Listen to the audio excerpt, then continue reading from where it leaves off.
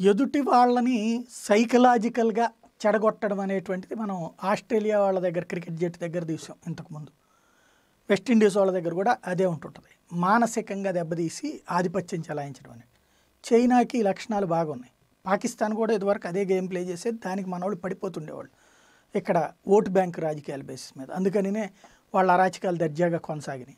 ఇప్పుడైతే దాన్ని రివర్స్ భావజాలం పెరిగేటప్పటికీనే కాంగ్రెస్ లాంటి వాళ్ళు కానీ ఇబ్బంది పడుతున్నది. అట్లాగే పాకిస్తాన్ కూడా చివరికి దిక్కులేని పరిస్థితుల్లోకి వచ్చింది.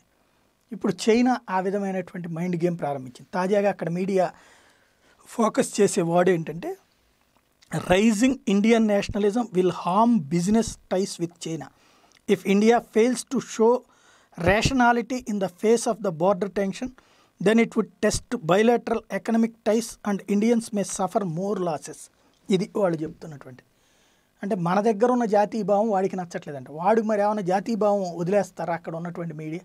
అక్కడ చైనా ఫస్ట్ చైనా గొప్పదని కాకుండా పక్క దేశం భారత్ గొప్పదని అక్కడ ఏమైనా చెప్తారా?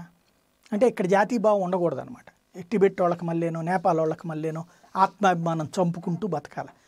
అక్కడ తైవాన్ లాగానో హాంకాంగ్ లాగానో పోరాడకూడదు. లేదా అసలు ఇక్కడ జాతీయ భావాన్ని ఆడి చంపేయాలన్నమాట. అదొక విచిత్రం. రెండవది ఏంటంటే మనల్ని బెదిరించడం.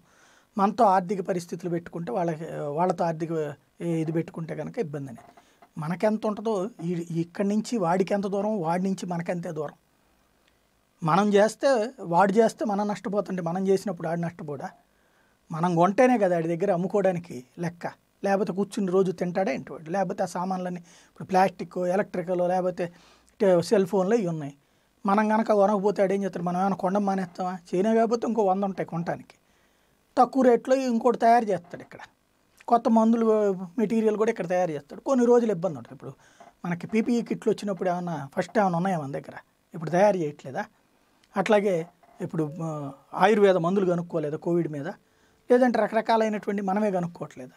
వస్తే అయ్యే జరుగుతాయి. అంటే బెదిరించడం అనమాట ఇక్కడ. మీరు లే మేము లేకపోతే బతకలేరని. టిక్ టాక్ లేకపోతే బతకలేరు అన్నట్టు ఉంటుంది అనమాట ఇదే చైనా మే మీడియా ప్రస్తుతం వాడుతున్నటువంటి మైండ్ గేమ్.